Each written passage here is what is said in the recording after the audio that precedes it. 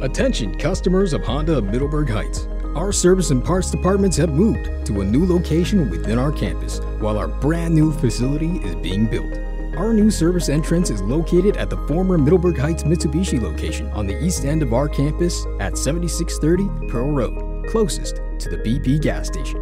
We will continue providing you with the same great services while we are under construction.